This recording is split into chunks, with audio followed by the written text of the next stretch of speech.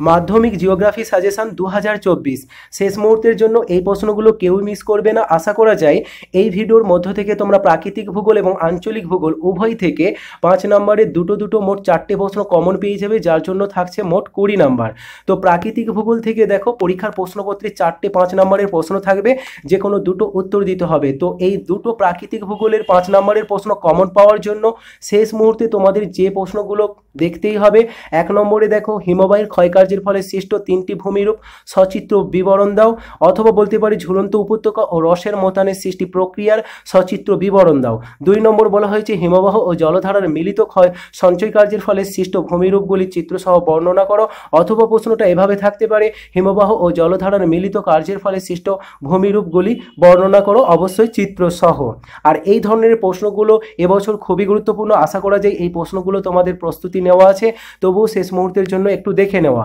পরের প্রশ্ন দেখো, বায়ুর ক্ষয়কার্যের ফলে পাশাপাশি সঞ্চয় কার্যের ফলে সৃষ্ট ভূমিরূপ চিত্রসহ বর্ণনা অথবা বলতে পারে বায়ুর অবঘর্ষজনিত যে কোনো তিনটি ভূমিরূপের চিত্রসহ বিবরণ দাও। পরের প্রশ্ন, বিশ্বসনায়নের পাঁচটি প্রভাব আলোচনা করো, তারপর থাকছে জোয়ার ভাটা ফলাফল বর্ণনা করো, এরপর থাকছে চিত্রসহ জোয়ার ভাটা সৃষ্টির কারণ ব্যাখ্যা করো এবং পরের শেষ প্রশ্ন, প্রাকৃতিক ভূগোলের পৃথিবীব্যাপী সমুদ্র স্রোত প্রভাব আলোচনা করো অথবা বলতে পারে পৃথিবীর জলবায়ু ওপর সমুদ্র স্রোতের প্রভাবগুলি আলোচনা করো। দেখো, এই যে চার থেকে সাত পর্যন্ত, অর্থাৎ চার নম্বর প্রশ্ন, পাঁচ নম্বর প্রশ্ন, ছয় নম্বর প্রশ্ন এবং সাত নম্বর প্রশ্ন, আশা করা যায় এই শেষের চারটে প্রশ্নের মধ্য থেকে অবশ্যই তোমরা এক থেকে দুটো প্রশ্ন কমন পেয়ে যেতে পারো।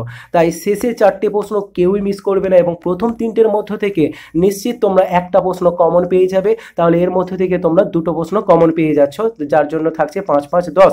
এবার আঞ্চলিক থেকে চলো, দেখো, যেসব প্রশ্নগুলো আলোচনা হচ্ছে খুবই গুরুত্বপূর্ণ।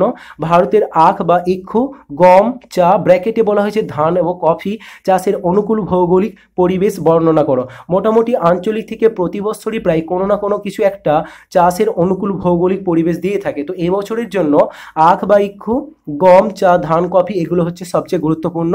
আর এগুলোর অনুকূল ভৌগোলিক পরিবেশ অর্থাৎ প্রাকৃতিক পরিবেশ এবং অর্থনৈতিক উভয় পরিবেশই তৈরি করে রাখবে। পরে বলা হয়েছে ভারতের পশ্চিম হিমালয় ভূপ্রকৃতির বিবরণ দাও। পরে থাকছে ভারতের নগর গড়ে ওঠার প্রধান কারণগুলি আলোচনা করো, অথবা বলতে পারে ভারতের নগরায়নের প্রধান সমস্যাগুলি উল্লেখ করো। এই গড়ে ওঠার প্রধান কারণের পাশাপাশি সমস্যাগুলো তৈরি করে রাখবে। এই প্রশ্নটা তোমাদের তিন নম্বরেও আসতে পারে। কেমন? পরে দেখো ভারতের আর্থসামাজিক উন্নতিতে পরিবহন বলতে পারে শুধু রেলপথে ব্যবস্থার গুরুত্ব উল্লেখ করো। এরপর থাকছে পূর্ব ও মধ্য ভারতের লৌহ ইস্পাত শিল্প কেন্দ্রীভবনের কারণগুলি লেখো। এরপর থাকছে ভারতের কৃষি সমস্যা সমাধানগুলি উল্লেখ করো।